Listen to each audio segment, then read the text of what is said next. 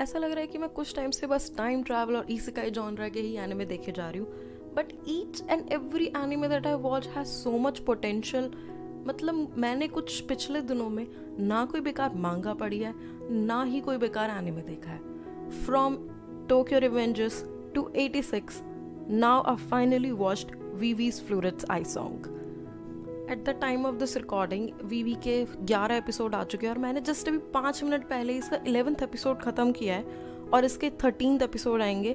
तो make sure you watch this video because ये spoiler free video होने वाली है।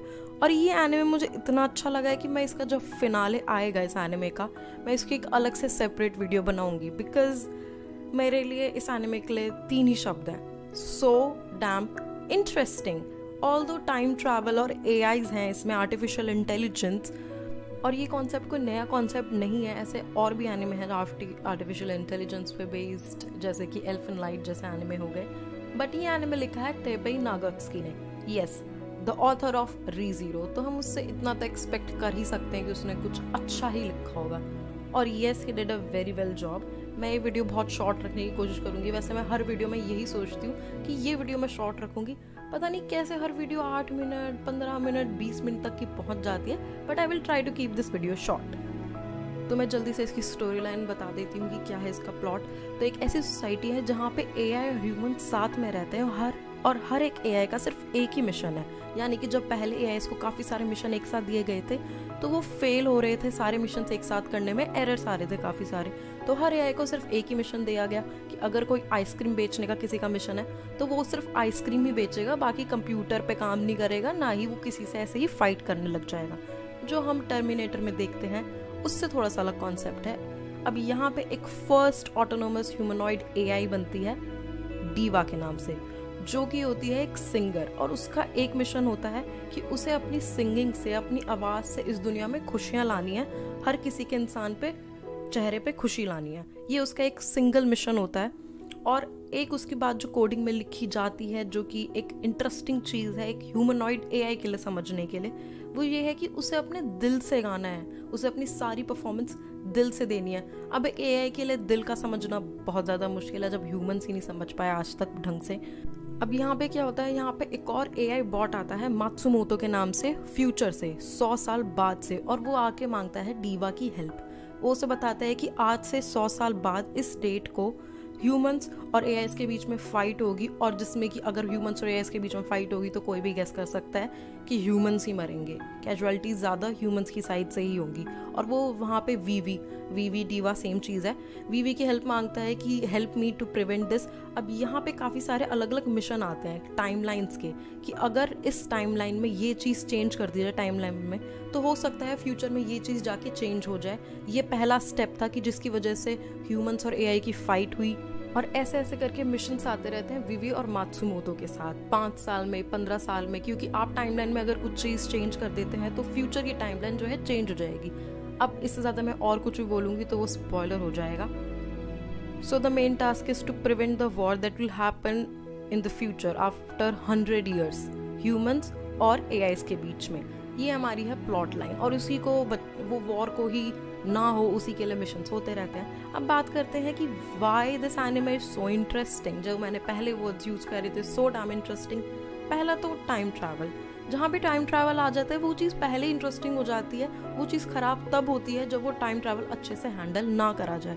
बट जो अब तक मैंने इस एनिमे में देखा है इलेवन एपिसोड्स में, वो काफ़ी अच्छे से इस टाइम ट्रैवल के कॉन्सेप्ट को हैंडल किया गया है। स्टाइन्स गेट से कोई कंपैरिजन नहीं कर सकता, उसकी तो बात नहीं करेंगे। बट काफ़ी अच्छे से हैंडल किया है as compare to the time travel shown in Tokyo Revengers हालाँकि मैं टोक्यो रिवेंजर्स को अभी भी वीवी से ऊपर रखूँगी बट मुझे लगा कि वीवी में टाइम ट्रैवल का कॉन्सेप्ट ज़्यादा अच्छे से दिखाया गया। Second cheese is A I and human relationship A R और ह्यूमन का रिलेशनशिप जो इसमें दिखाया, वो काफ़ी अच्छा दिखाया। अगर मैं बात करूँ विवी के कैरेक्टर की तो विवी जब स्टार्टिंग में विवी को दिखाया जाता है तो काफ़ी रोबोटिक होती है और होगी भी क्यों नहीं? बट ए को बनाया इसलिए जाता है कि वो इवॉल्व होते रहे ह्यूमंस की तरह। अब जैसे जैसे वो इवॉल्व होती है तो वो ह्यूमन फीलिंग्स को और ज़्यादा अच्छे से समझने लग जाती है। और इस तरह से इवॉल्वमेंट काफ़ी अच्छे से दिखाई है एवोल्यूशन काफ़ी अच्छे से दिखाया है। और ए का और ह्यूमंस का रिलेशनशिप भी काफ़ी अच्छे से दिखाया है एनिमे में। तीसरी चीज़ one A I is equal to one mission ये चीज़ मुझे बहुत ज़्यादा पसंद है कि एक AI का एक ही मिशन है। जैसे कि यहाँ पे वी वी स्लैश डीवा का ये मिशन है। एक सॉन्ग स्ट्रेस है वो, कि मुझे अपनी सिंगिंग से सबके चेहरे पे खुशियाँ लानी है और मुझे गा, दिल से गाना है अपने। ये चीज़ मुझे काफ़ी अच्छी लगी और ऐसे ही हर एक AI का एक ही पर्पस है लाइफ में और उस पर्पस को ही वो अचीव कर रहे हैं और उस पर्पस के लिए वो काफ़ी, अगर उन्हें एडिशनल चीज़ें सीखनी पड़ रही हैं तो वो सीख रहे हैं। और काफ़ी ह्यूमन सी फीलिंग देते हैं वो। The fourth thing is about the anime that I like is pace is good pace काफ़ी अच्छी लगी मुझे एनिमे की। पहला मिशन सॉल्व कर लेते हैं तो उसके बाद टाइम अगर ऑल्टर होगी टाइमलाइन ऑल्टर होगी टाइमलाइन चेंज होगी तो पाँच साल बाद हो सकता है कुछ चेंज हो जाए। तो उस हिसाब से हर एक एपिसोड की जो है पेस बहुत अच्छी है। हर एक एपिसोड काफ़ी इंटरेस्टिंग और सरप्राइजिंग रहा है। अब तक इलेवन एपिसोड्स में। ऑल दो नाइन्थ एपिसोड में कहूँगी कि मुझे लगा कि थोड़ा सा बोरिंग था बट नहीं, वो चीज़ भी इंटरेस्टिंग थी, क्योंकि जब बाद में पता चलता है तो नाइन्थ एपिसोड हर एपिसोड की वैल्यू समझ में आती है मीनिंग समझ में आता है। नेक्स्ट थिंग इज़ जैसे कि विवी और दूसरे ए आईज इंटरेक्ट करते हैं कुछ एक्सप्रेशन से और फीलिंग से, जो कि हम ह्यूमन ही समझ पाते हैं। कुछ एक्सप्रेशन अगर हमने दिए हैं तो हम ह्यूमन ही समझ आते हैं। जैसे कि वीवी की कोडिंग में ही लिखा गया है कि pour your heart in your performance अब उसका वो मीनिंग काफ़ी टाइम तक ढूंढती रहती है और दूसरे एआई से भी पूछती रहती है और ह्यूमन से भी पूछती रहती है। तो वो देखना मुझे उससे देखने में तो काफ़ी मज़े आए कि कैसे इवॉल्व होता है। तो इवोल्यूशन तो काफ़ी बड़ा पार्ट है इस एनिमे का जो इसे इंटरेस्टिंग बनाता है। और अगर कुछ विजुअल्स मैं आपको यहाँ पे दिखा पाऊँगी, आपको शायद वीडियो में दिख रहे होंगे, क्योंकि हम काफ़ी सारी क्लिप्स नहीं ऐड कर पाते अपनी वीडियोस में because of you know copyright strikes copyright claims आ सकते हैं उस वजह से।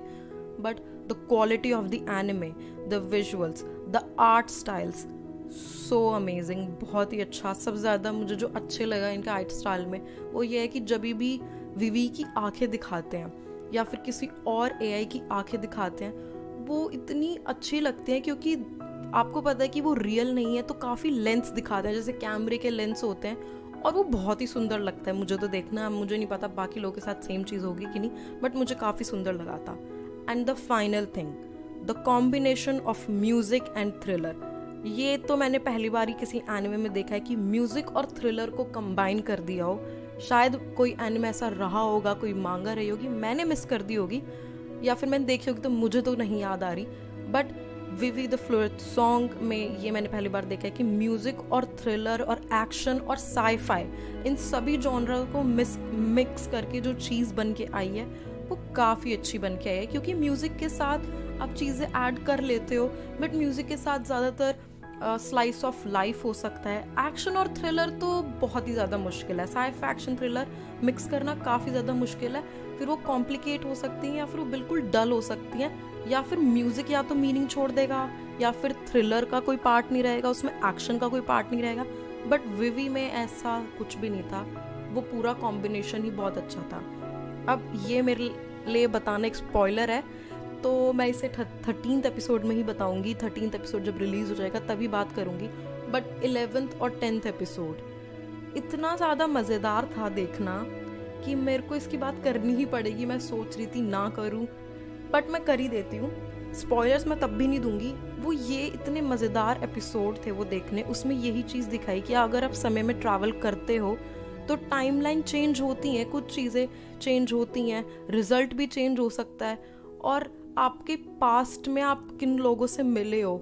और आपने कुछ चेंज करा, आपने किसी से इंटरेक्ट भी कर, करा है द बटरफ्लाई इफ़ेक्ट यहाँ पे बात हुई है, इस किसी से इंटरेक्ट भी करा है, वो फ्यूचर में जाके कुछ और हो सकता है। तो वो जब साथ में आया इलेवेंथ और टेंथ एपिसोड में वो देखने में तो काफ़ी मज़ा आ गया। ये पिछले एक मिनट में मैंने जो भी बोला, जिन्होंने यानी मैं नहीं देखा, बिल्कुल नहीं समझ पा रहे होंगे। बट आई होप जो लोग समझ पा रहे हैं, मात्सुमोतो और विवी की बात कर रही हूँ मैं यहाँ पे, वो समझ पा रहे होंगे, उनके लिए गुड बाकी दिस एनिमे वॉज़ अमेजिंग थोड़ी सी टोक्यो रिवेंजर्स की याद आई, कहूँ तो बिल्कुल नहीं आई थी। बेशक उसमें टाइम ट्रैवल का कॉन्सेप्ट हो 86 में भी मेका सोल्जर्स थे तो उससे भी रिलेटेबल नहीं था। दोनों की वीडियोस आपको डिस्क्रिप्शन बॉक्स में मिल जाएँगी।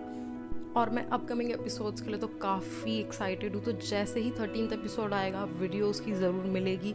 अगर मैं डिसअपॉइंट हुई थर्टीन एपिसोड पे तो तो डेफिनेटली मिलेगी। पर अगर मीडियोकर हुआ तो शायद ना मिले। बट देखते हैं। और एक चीज़ तो मैं भूल गई। I want to appreciate Wit Studio जिसने ये बनाया है एनिमे बहुत अच्छा काम किया है विट स्टूडियो ने। मुझे तो ऐसा लगता है कि ये थोड़े डिज़र्व करते हैं और अप्लॉज और अप्रिसिएशन शायद इतना नहीं मिल पा रहा है। तो good job with studios and I will meet you in the next video तब तक के लिए पीस आउट